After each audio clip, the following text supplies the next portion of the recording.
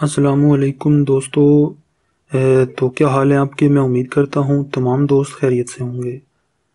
तो भाई, आज का जो रिश्ता मैं लेकर आया हूँ ये मेरे, उन हमारे भाइयों के लिए है, जिनकी उम्र जो है वो फोर्टी एट, यानी कि अड़तालीस साल तक हो या इससे कम हो और चाहते हो पहली या दूसरी शादी करना। तो ये जो लड़की हैं, जिनका रिश्ता मैं लेकर आया हूँ, एक पढ़ी लिखी ख़ानदान से हैं पढ़ी लिखी हैं, इसके अलावा गवर्नमेंट जॉब भी करती हैं। तो इनकी मज़ीद मैं आपको तफसीत बता देता हूँ। इससे पहले हमारी छोटी सी गुजारिश है कि हमारे चैनल को सब्सक्राइब करें और बेल के आइकॉन को भी दबा दिया करें ताकि हमारी आने वाली हर नई से नई वीडियो का नोटिफिकेशन आप तक पहुँच जाए। दोस्तों, ये जो लड़की है, इनका नाम है अफशीन। इनकी उम्र है तरतालीस साल फोर्टी थ्री ईयर्स और ये एक तलाक़ याफ्ता लड़की हैं, ख़ातून हैं।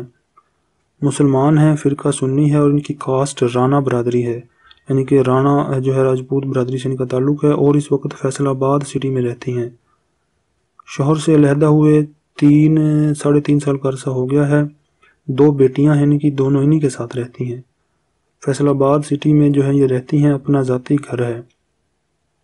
और ये जो है, पढ़ी लिखी हैं, इनकी तालीम जो है, इन्होंने एम कॉम तक पढ़ा है और इस वक्त जो है ये महकमा एजुकेशन पंजाब में जो है जॉब करती हैं।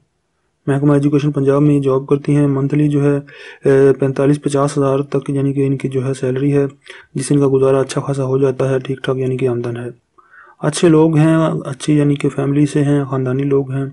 तो अभी तो है, ये चाहती हैं कि दोबारा से शादी कर लें तो इनकी जो डिमांड है लड़के के लिए, वो मैं आपको बता दूँ कि लड़का जो है उसकी उम्र अड़तालीस साल से ज़्यादा ना हो, पहली या दूसरी शादी करना चाहता हो और कम अज़ कम जो है उसकी तालीम जो है वो इंटरमीडिएट तक लाजमी हो, यानी कि बारह जमात तक लाजमी पढ़ा हो।